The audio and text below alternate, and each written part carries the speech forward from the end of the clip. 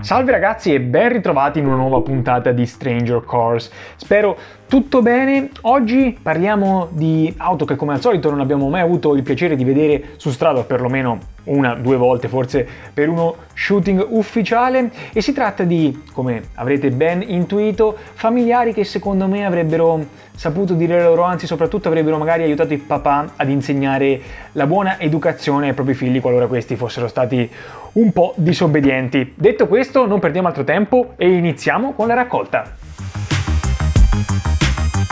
Come si fa a diventare i migliori amici di un appassionato BMW? Semplicissimo, basta dirgli che la vostra sportiva preferita è la M3 E46. Ma state tranquilli perché secondo me non direste neanche una bugia, poi magari un giorno avendo la possibilità di provarla vi accorgereste di quanto questa sia davvero forse una delle sportive più viscerali, più pure, tra virgolette, forse sicuramente una delle eh, più autentiche mai concepite dalla casa di Monaco. Ovviamente sto parlando della storia mh, più eh, medio medio recente, mettiamola così. Perché vi parlo di lei? Tutti la conoscete come Coupé? Ebbene dovete sapere che un solo esemplare una volta ha anche vestito i panni della variante Touring. Era un momento abbastanza di fermento per il mercato di queste sportive e BMW stava pensando di lanciarsi contro la RS4 che in quel momento era un po' la regina per quanto riguarda questo genere eh, di eh, vetture prestazionali, ma ovviamente la RS4 era già famosa, famosissima soprattutto per la variante con la carrozzeria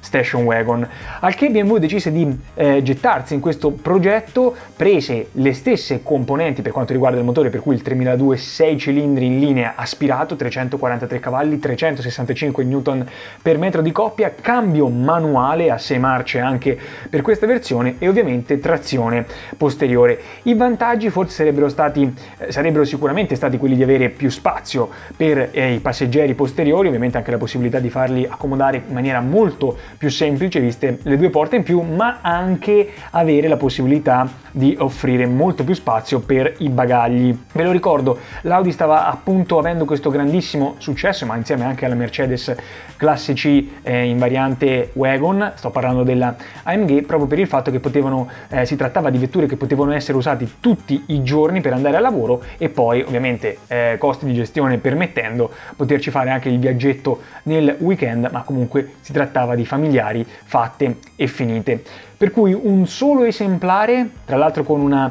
qualità eh, speculare all'auto di produzione che però non è stato mai, eh, non ha mai visto la linea di produzione. Questo secondo me è un vero peccato, c'è anche chi ritiene che a fronte ovviamente di un aumento del peso, di un, un innalzamento del baricentro, il passo più lungo potesse conferire delle doti dinamiche davvero molto interessanti eh, a questa M3 in variante Touring, si chiama M3 Touring Concept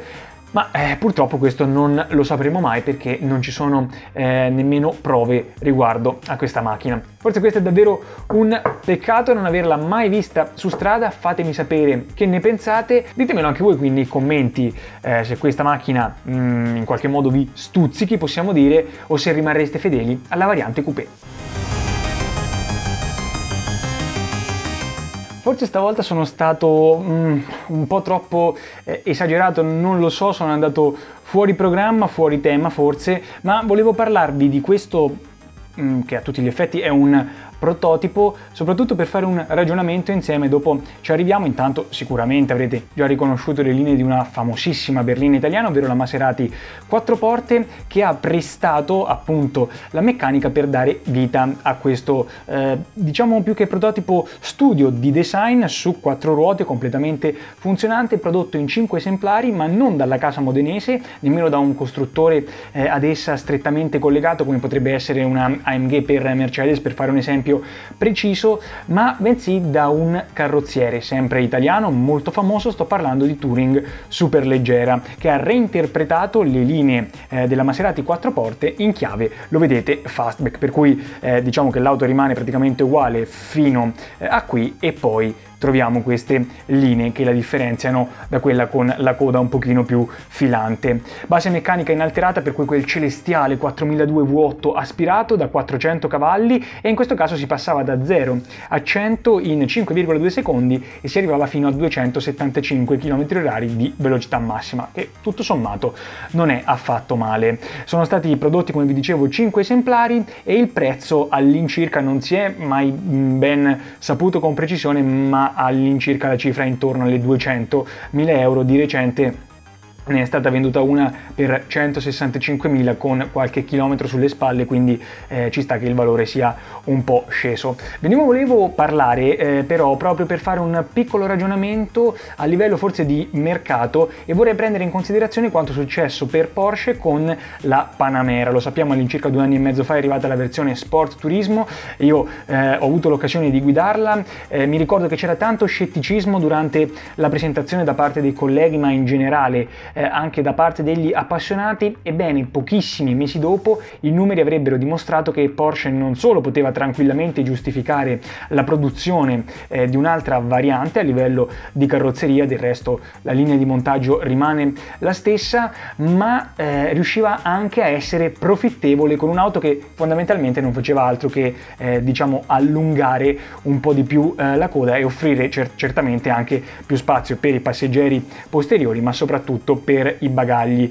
Per cui dico questo eh, pensando al fatto che eh, forse un pochino più di linfa al modello 4 porte avrebbe potuto essere stata data proprio grazie alla ehm, variante, eh, chiamiamola fastback in questo caso, ma appunto qualcosa di diverso dalla berlina, visto che poi nel corso degli anni ha sofferto parecchio direi l'arrivo di competitor come eh, Audi RS7, classe AMG, la stessa eh, Panamera e questo ovviamente eh, da italiani fa un po' male, vediamo eventualmente se nella prossima eh, mandata, diciamo così, eh, avremo anche una differenziazione in questi termini. Voi però intanto siete d'accordo con questo ragionamento? Eventualmente ditemelo qui sotto nei commenti.